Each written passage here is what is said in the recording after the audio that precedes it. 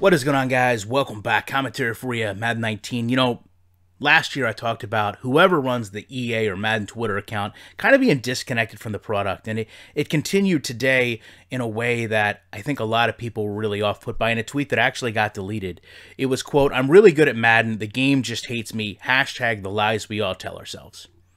I mean, at this point, I feel like EA isn't really ingrained in the community enough to understand that its game has some major problems. I've got a video up last week, almost 200,000 views, 2,000 likes, that simply talks about the game cheating the user. You've got people that will swear to you that there's dynamic difficulty adjustment, that the game manipulates plays and players in accordance with how well or how poorly the user is doing to keep the player engaged. In fact, myself and Marcus Whitman have a whole video coming up where we discuss this. But at the same time, this is also a Twitter account that's been pushing money plays. You know, the problem is, I feel like we're never going to get a better game if there's not an agreement that there's a problem. And rather than taking that first step and saying, hey, our game has some flaws, we appreciate the fact that it's still being generally received well by the community as in sales, but we're going to make sure that we listen to your feedback the most and continue to progress and get this game going forward. They continue to almost patronize us by proclaiming their game is, is nearly better than it is.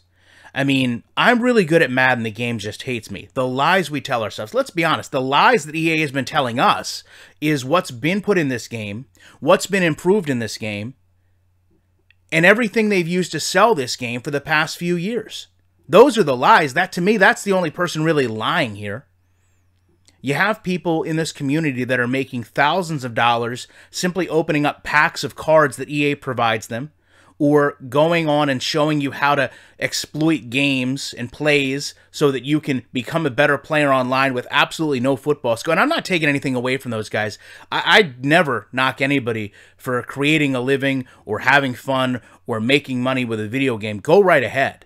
But at some point, EA needs to stand up and say, listen, we've got some things that are wrong going on, and we have to make a better product and hold ourselves accountable rather than sitting here and telling the community, oh, you're lying to yourself because you actually just have the game thinking it's hating you when you're not good at the game at all. I mean, that's absurd. I can't think of any other gaming company that would come out and even make a statement like this because it's so disrespectful to the people that purchase your product. But then again, so is the poor quality of the game EA's put out for the past few years, so maybe this kind of slips through the cracks.